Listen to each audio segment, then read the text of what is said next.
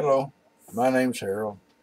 Um, this time I'm going to tell you about uh, making a carriage stop for my lathe, but before we get into that I want to tell you about a, a neat guy that's here on uh, YouTube. He's got uh, a nice channel.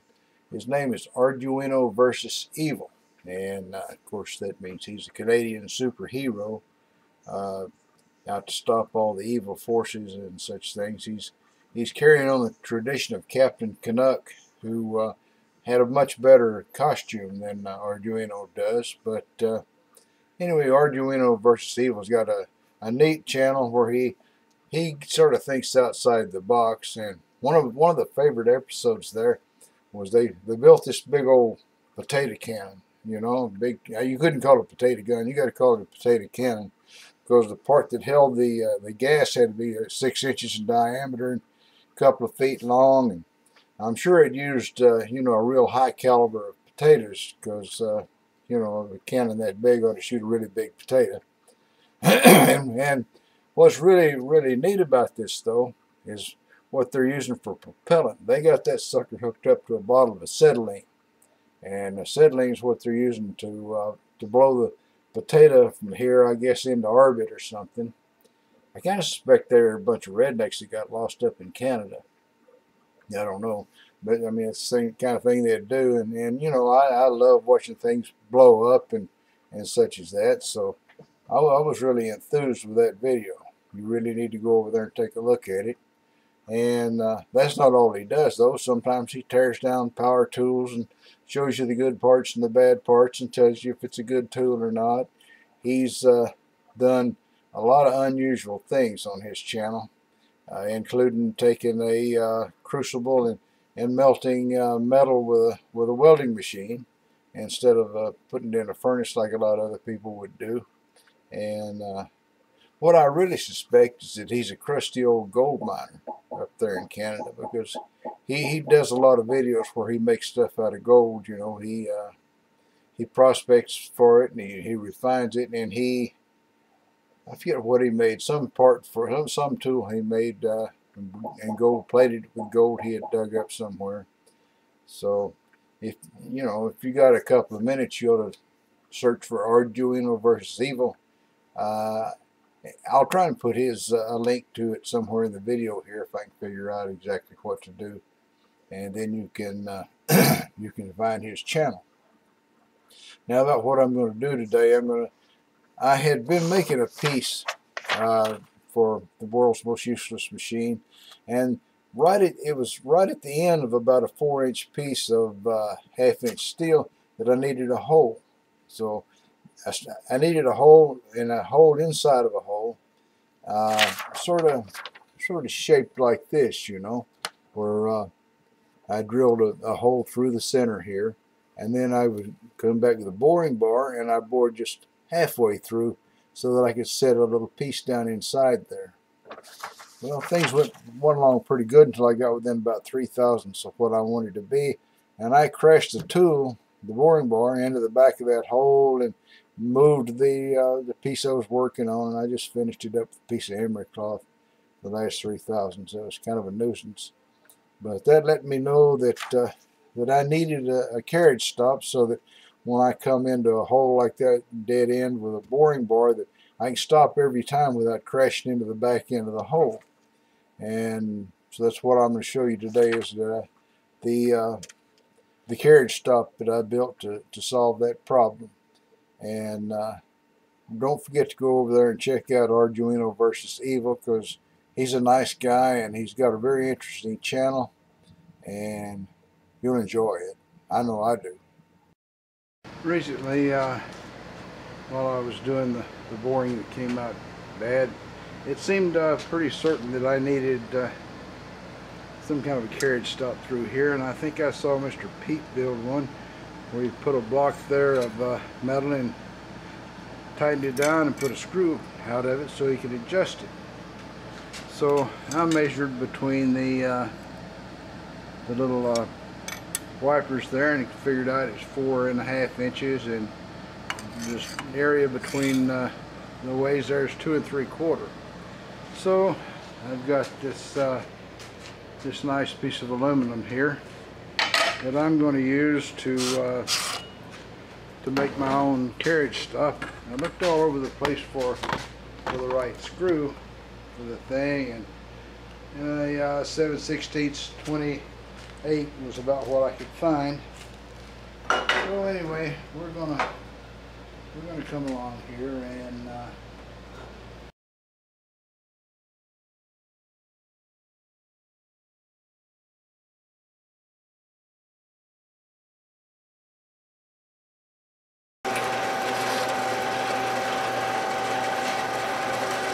That'll help you get right through there. I'm not going to let you bore you with uh, watching the whole cut. We'll be back when it's done.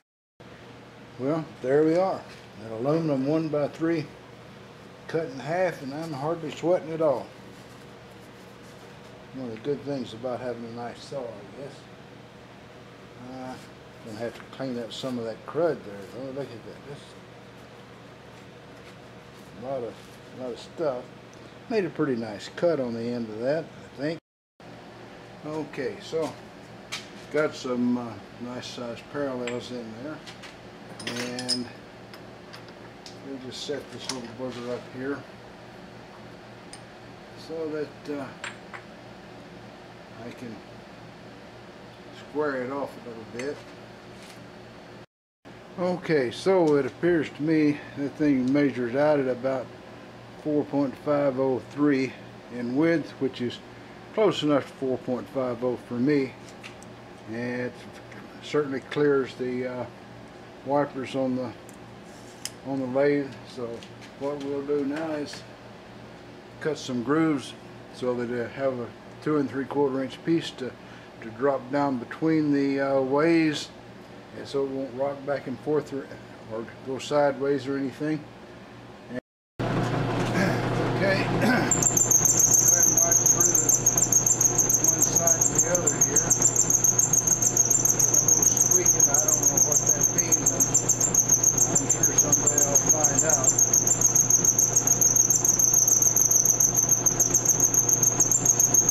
But I'm keeping the Okay, so I figure that I have left myself uh, 3 thousandths clearance there.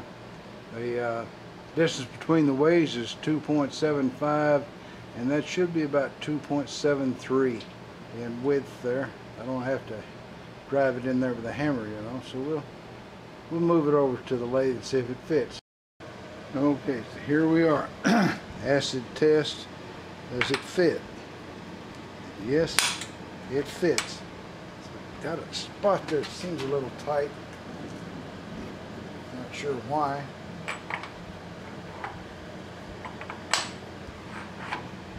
There must be a burr somewhere right along in there. I can feel it because when I, yeah, there's a burr right there.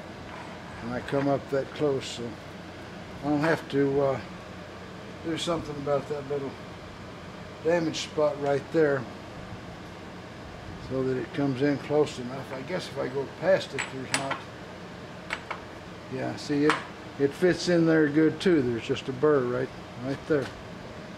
Undoubtedly something stupid that I've done at some time. But I think that fits really good. It's just nice and tight. Giving it 2,000 uh, clearance seems to work out. So next thing to uh, drill some holes. Okay, a couple strokes with the file right there where the burr was at. And everything slides good now. Perfect fit, I think. Anyway, on to the holes. I learned this little trick from YouTube. Put a, a dial indicator down there so that when I move things around, that uh, I can move exactly where I want to go. You don't have to worry about slack in the, in the threads or nothing. This that's wonderful. It's not a DRO, but it's it's the next best thing. Mr. Pete used a, uh, a rod flat on one side for uh, the adjustment in this uh, carriage stop. So after thinking it over a lot, I finally decided to go with go with his design. Although I had favored threading a piece into there with real fine threads. But if I, I, can do that later on if I really want to, just move over some. So this first time around, we're going to go ahead with the Mr. Pete design. Okay, so here we are with the uh, with the finished product.